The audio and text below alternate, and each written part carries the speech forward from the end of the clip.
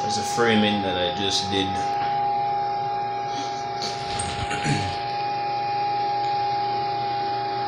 For the shower. Now I'm gonna install the doors.